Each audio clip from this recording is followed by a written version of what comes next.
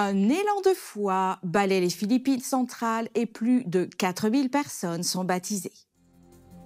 Une vague de renouveau spirituel a balayé les Philippines centrales, conduisant au baptême de plus de 4200 individus.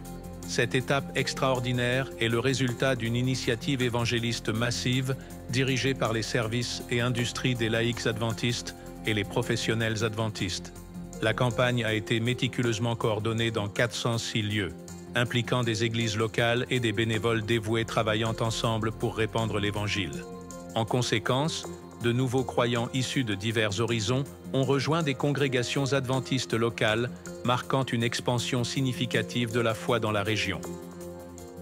Cet effort montre le pouvoir incroyable de l'évangélisation organisée et de l'implication communautaire. Leur dévouement est inspirant et prouve que lorsque chaque membre s'engage, nous pouvons vraiment transformer des vies et renforcer la foi.